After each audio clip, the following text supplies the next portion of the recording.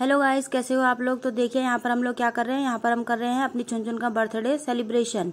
जन्मदिन की पार्टी हो रही है यहाँ पर, और छुनछुन के जन्मदिन की पार्टी में कौन कौन आया है?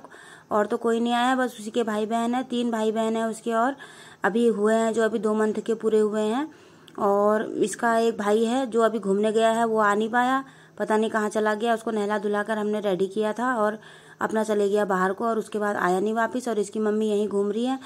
और तो ये देखिए, यहाँ पर हमने केक लिया है और यहाँ पर मैंने केक को बुझा दिया है और यहाँ चुन चुन का हाथ पकड़ के अब हम केक काटेंगे और हमारे साथ यहाँ पर इसके भाई बहन भी हैं जो इंतज़ार कर रहे हैं कब टेबल में जाएँ और केक, कब हम केक खाएँ। तो मैं आपको बता दूँ, ये केक केक जो हम लाए थे, शुगर लेस है, इसमें हमने खास बोला था कि चीनी आपको नहीं डालनी है तो ये केक हमने बिना चीनी का बनाया है।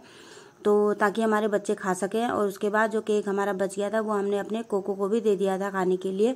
तो ये देखिए, यहाँ पर जो है केक काट दिया है, बत्ती, मोमबत्ती हमने जो है बुझा दी है और यहाँ पर बच्चों को रख देती हूँ मैं यहाँ पर। ये इसके भाई बहन है जो केक खाएँगे तो एक तो नीचे उतर गया है, दूसरा वाला भी जो है ये भी नीचे उतर गया अब छुन छुन को मैंने पकड़ा हुआ है। ये तीसरा है, इसको भी देखते हैं, खाता है, नहीं खाता, ये अभी नहीं खा रहे हैं, थोड़ी देर में आएँगे खाने के लिए। तो यहाँ पर देखिए छुन को मैं खिला रही हूँ तो खाती है, नहीं खाती है, पता नहीं तो छुन छुन भी खाने लगी यहाँ पर केक, अपना केक इंजॉय करने लगी। तो आज हमारी छुन छुन को एक साल पूरा हो चुका है। तो ये देखिए, इस तरीके से मैं इसको केक खिला देती हूँ। छोटी छोटी खुशियाँ हमको ढूंढनी चाहिए। इसी तरीके से ज़रूरी नहीं है कि हम अपना ही बर्थडे सेलिब्रेट करें। ये भी हमारे फैमिली के मेंबर हैं तो जितना पॉसिबल हो सके हमें छोटी छोटी चीज़ों में भी खुशियाँ ढूंढनी है और ये भी हमारे परिवार का सदस्य हैं तो हमें इनका भी बर्थडे सेलिब्रेट करना चाहिए। इसको भी हमने नहला दिया था सुबह ही आज। और ये आज दिन भर घर पे ही थी। कहीं गई भी नहीं इधर उधर, बस थोड़ी देर अभी गई थी और उसके बाद फिर आ गई। हमें लगा पता नहीं आती है, नहीं आती है, लेकिन ये आ गई थी, क्योंकि इसको पता है मुझे अपना केक काटना है। तो ये देखिए, यहाँ पर दोबारा से केक खाने के लिए फिर ये बैठ गई है। तो जब हम अपने घर में जानवरों को पालते हैं तो वो भी हमारे फैमिली के एक मेंबर ही बन जाते हैं। इनके बिना भी हमें अच्छा नहीं लगता। ये है इसके तीन भाई बहन चुन चुन चली गई है। तो ये तीनों भाई बहन है, एक इसमें पूरा काला है। और दो हैं, कलर के वाइट और सफ़ेद और भूरा और एक सफ़ेद और काला। तो ये देखिए, ये भी, इनको भी अब केक पसंद आने लगा है। ये भी अब यहाँ पर बैठ गए हैं केक खाने के लिए। तो ये भी केक इंजॉय कर रहे हैं छुन छुन भी खा के चली गई है। इनकी मम्मी भी यहीं कहीं घूम रही है। तो उसको भी देखना पड़ेगा, वो अभी कहाँ है। तो मेरा तो मानना यह है, जब हमने घर में कोई जानवर पाला है तो उसको अपने घर के परिवार के सदस्यों की तरह रखना चाहिए। जब भी बीमार होते हैं तो हमें भी टेंशन हो जाती है और उनकी दवाई पानी के लिए हम पूरा इंतज़ाम करते हैं। यह छुन छुन की मम्मी है देखिए।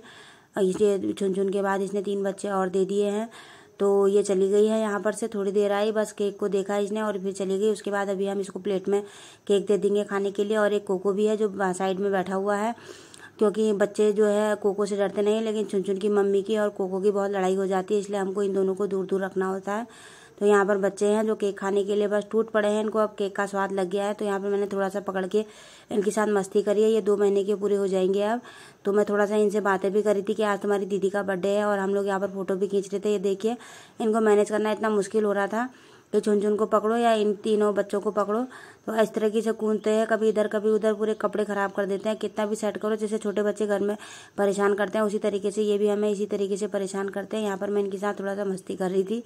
ये देखिए, आज तुम्हारी दीदी का बर्थडे है, इस तरीके से हम लोग जो है पार्टी इंजॉय कर रहे थे। छोटी छोटी चीज़ों में भी हमें खुशियाँ ढूंढनी चाहिए, कभी भी अपने मन को जो है खुश रखने के लिए हमें कुछ भी इसी तरीके से कर लेना चाहिए।